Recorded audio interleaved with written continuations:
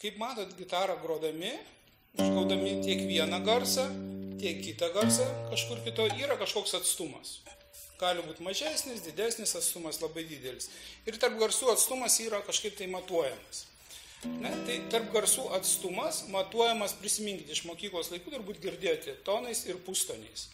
Pats mažiausias atstumas tarp šalia esančių skirsnių yra pusė tono atstumas, pustonis.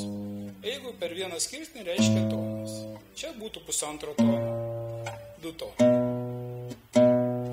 Va, ir visa muzika atstumai tarp garsų sudėlioti tonais ir pustoniais. Mes mokinsime įvairias gamas, kurios irgi turi tam tikrą seką. Tarp vienų garsų yra pustoniai, tarp kitų yra tonai. Nes iškyla klausimas, pavyzdžiui, grojant gamą, do, re, mi, fa, sol, si, do. Ne, čia yra do garsas, čia yra re, o koks yra per vidurį garsas. Ne?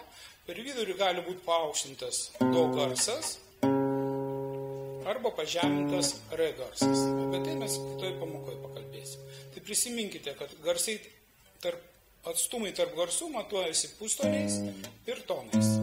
Jei dar nemokite groti gitarai norėtumėte išmokti ir patobulinti savo turimas žinias, apačioje matysite nuorodą, kur galite pasirinkti nuotolinius mokymus, interaktyvę knygą įsigyti arba individualias pamokas.